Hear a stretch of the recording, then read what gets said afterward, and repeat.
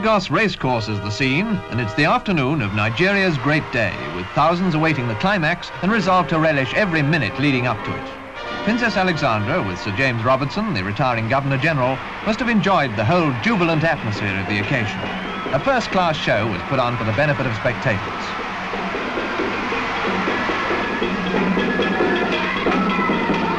Entertainers fairly let themselves go, tumbling head over heels with delight. Celebrating, however, as we all know, can be a bit exhausting. The princess was received with yells from the kids. Her friendly charm had quickly made her very popular.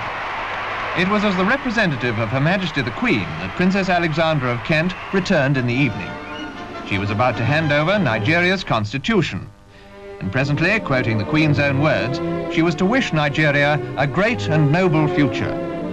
This was the moment for which the country's leaders, in partnership with British authority, had patiently worked. The Nigerians themselves emphasized that all has been done in friendship and that friendship will continue.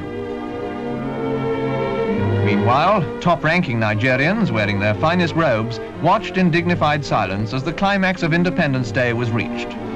In handing over the documents to the Federal Prime Minister, Alhaji Sir Abubakar Tafawa Balewa, Her Royal Highness handed over sovereignty to a new nation. The Union flag flying for the last time. Princess Alexandra was present, of course, for the final ceremony that took place on the stroke of midnight. This was the dramatic takeover by the new nation's own green and white flag. The next day came the state opening of Parliament. Princess Alexandra, wearing a white embroidered gown and a diamond tiara, entered the chamber where 350 senators and representatives and many guests had assembled.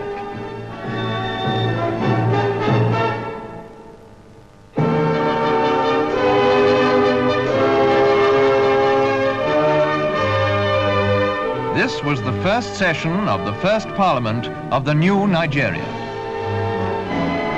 Dr. Azikiwe, President of the Senate and Governor-General Designate, addressed the Princess, asking her to open Parliament by reading the speech from the throne.